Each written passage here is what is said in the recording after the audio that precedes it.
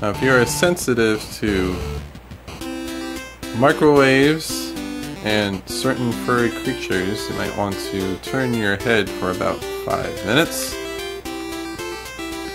We have an eyewitness here. I want to show you something. If you give the hamster to Wendy, it's so cute. But if you try to use the hamster in the microwave, how sick. Of course, that's nasty. But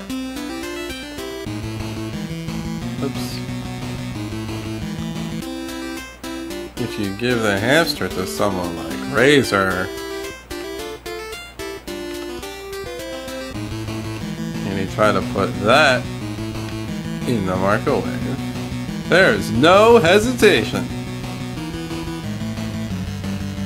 And if you accidentally close the door, oh my goodness! Looks like the doctor has turned off the power. Well, that was a buzzkill.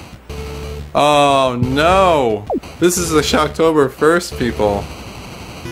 Well, we have to wait now until the power comes on. Dr. Fred has saved the hamster.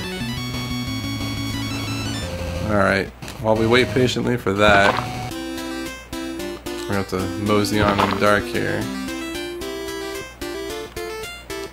Go to the front door. Hopefully the power's on now.